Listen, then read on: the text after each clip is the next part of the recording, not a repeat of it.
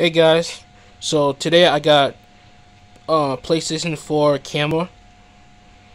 So yeah, so I'm about to go live on playing on Grand Theft Auto 5, you know, or Sleeping Dogs or other games. But I'll see if um, but I had, I had to try out first, okay? So please leave, please leave um likes, comment, and subscribe, okay? And tell me what you think, okay? So I'll see you guys later, okay? Peace out, y'all.